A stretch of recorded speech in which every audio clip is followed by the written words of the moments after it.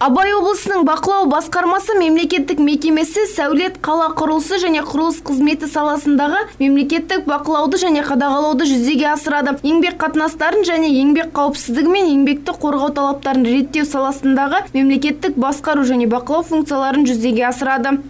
Абай облысының бақылау басқармасы мемлекеттік мекемесі сәулет қала құрылысы және құрылыс қызметі саласындағы мемлекеттік бақылауды және қадағалау жүзеге асырады. Ә, және де еңбек қатынастарын және еңбек қауіпсіздігі мен еңбек қорғау талаптарын реттеу саласындағы мемлекеттік басқару және ә, бақылау функцияларын жүзеге асырылады Ә, басқарманың негізгі мақсаттары бұлар абай облысының аумағында салынып жатқан объектілерге ә, мемлекеттік сәулет құрылыс бақылау және қадағалау жүзеге асыру және лицензиялау аттестаттау және аккредиттеу жүзеге асырады.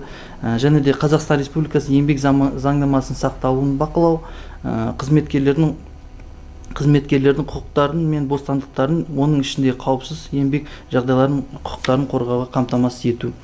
Басқарманың негізгі мақсаттары Абай облысының аумағында салынып жатқан объектілерге мемлекеттік сәулет құрылыс бақылауын және қадағалауды жүзеге асыру, лицензиялауды, сертификаттауды және аккредиттеуді жүзеге асыру, Қазақстан Республикасының еңбек заңнамасының сақталуын бақылау, қызметкерлердің құқықтары мен бостандықтарын, оның ішінде қауіпсіз еңбек жағдайларына құқықтарын қорғауды қамтамасыз ету.